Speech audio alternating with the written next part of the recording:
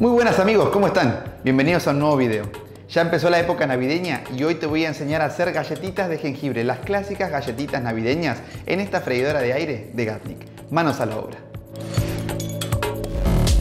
Para hacer estas galletitas, lo primero que vamos a hacer es colocar 80 gramos de azúcar rubia en un bowl. A esto le sumamos 3 cucharadas de azúcar blanca común y 60 gramos de manteca a temperatura ambiente o casi derretida. Mezclamos todo eso hasta que se integre y se forme una pasta.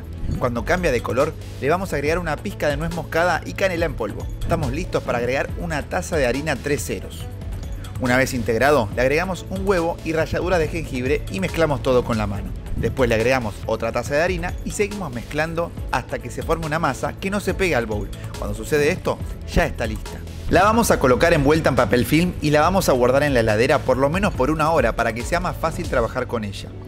Pasado este tiempo, la colocamos sobre la mesa y la estiramos con el palo de amasar hasta lograr un grosor de 5 milímetros aproximadamente.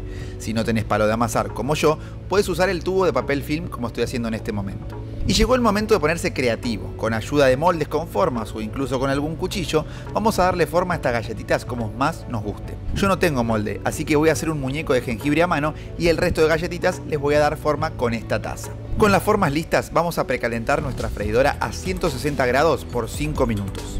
Mientras, voy a poner un poco de fritolina en la bandeja de la freidora y voy a ubicar bien las galletitas.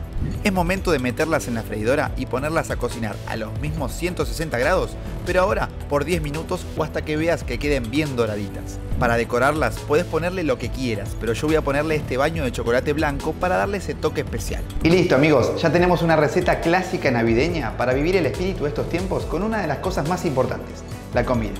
Te leo en los comentarios. ¿Tenés alguna otra receta que querés que hagamos? Nosotros nos vemos en un próximo video muy pronto. Hasta la próxima.